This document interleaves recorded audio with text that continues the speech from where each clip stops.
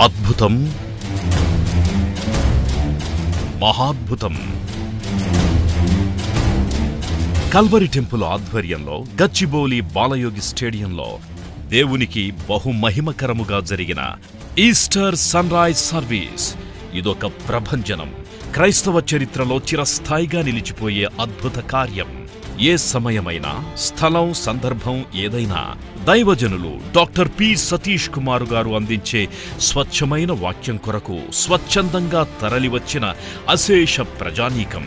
క్రీస్తు పునరుత్థాన ఆరాధన సందర్భముగా ఏప్రిల్ ఇరవై ఒకటవ తేదీ తెల్లవారుజామున ఉదయం నాలుగు గంటలకు జనసంద్రమైన హైదరాబాద్ గచ్చిబౌలి బాలయోగి స్టేడియం గేమ్స్ చూడడానికి స్టేడియానికి ప్రజలు వెళ్ళడం చూశాం. కానీ దేవుడిని ఆరాధించడానికి ప్రజలు ప్రవాహంలా స్టేడియంకు రావడం అద్భుతం.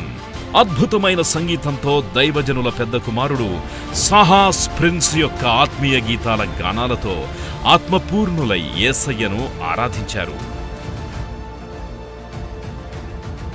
రెండు వేల సంవత్సరాల క్రితం ఇదే రోజు ఏం జరిగిందో కళ్ళకు కట్టినట్టుగా అద్భుతంగా ప్రదర్శించబడిన క్రీస్తు పునరుత్న ఆరోహణ ప్రదర్శన. ప్రతి ఒక్కరిని ఎంతో ప్రభావితం చేసిన దైవజనులు డాక్టర్ పి సతీష్ కుమార్ గారి పునరుత్థాన సందేశం.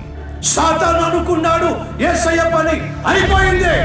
కానీ సాతానుకు తెలియదు పరిచయులకు తెలియదు శాస్త్రులకు తెలియదు సైనికులకు తెలియదు ఏమిటది?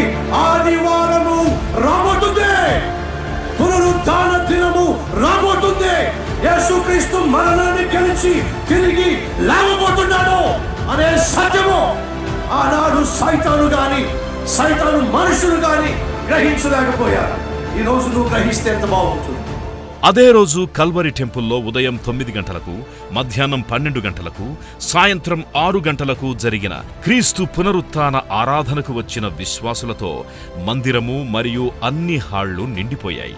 కల్వరి టెంపుల్ ఈస్టర్ ఆరాధనలకు లక్షల సంఖ్యలో విశ్వాసులు పాల్గొనడం గొప్ప విశేషం.